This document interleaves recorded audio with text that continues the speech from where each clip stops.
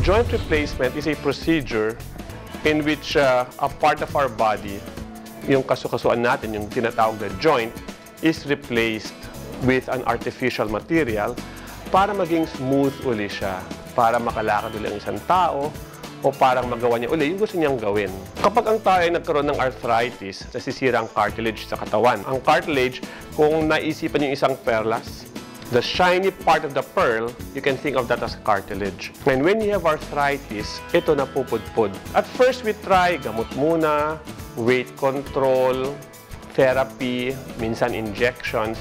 But sometimes, hindi na kaya nun eh.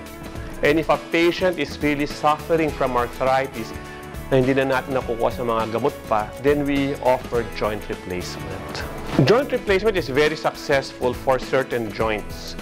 95 to 99% success rate sa hips and knees.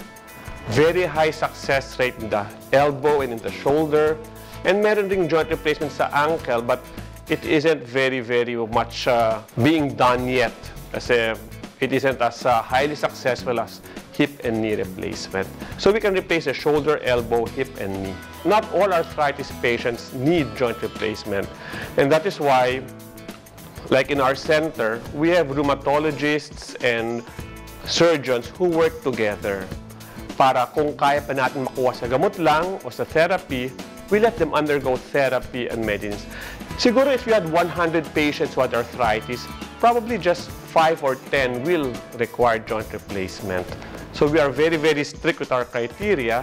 Pero kung kailangan nila ng joint replacement, then we replace the joint. The main indication for joint replacement is quality of life. Most of our patients are elderly, hindi na makalakad because of pain. Kadalasan naka-wheelchair na lang sila. Just 50, 100 steps, kailangan magpahinga na yan dahil masakit na.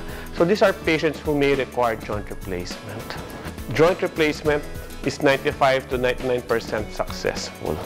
In fact, it is one of the most successful surgeries in orthopedics. The Arthritis Center was put up with the goal of helping patients who have arthritis. So we thought of putting up a center in which we have rheumatologists and orthopedic surgeons together so that if we have patients, we can discuss with the patient ano kaya ang the best treatment para sa kanya. Because we want to be very focused as in very focused on just the joints so that we can give the patients the best care. So if you have any joint pains and you wish to find out how we could help you, why don't you visit us at the Arthritis Center of the Los Santos Medical Center and we will be able to help you find the best cure for your problem.